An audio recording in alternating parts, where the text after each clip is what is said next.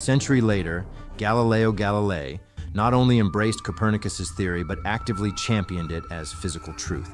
His improved telescope provided the undeniable observable proof. To deny what my own eyes and instruments reveal merely because it contradicts ancient texts. The book of nature is written in the language of mathematics. The truths of the heavens are unveiled through observation, not decree. The earth does move.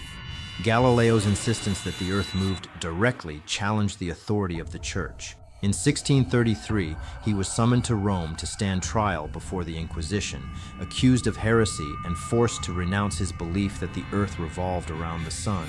Before the tribunal, he was compelled to sign a statement declaring, I, Galileo Galilei, being in my 70th year, kneel before your eminences. I abjure, curse, and detest the error and heresy of the motion of the earth.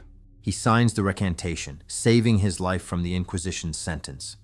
Yet as the story goes, when he rose and turned away, the old scientist murmured softly under his breath, E pur si muove,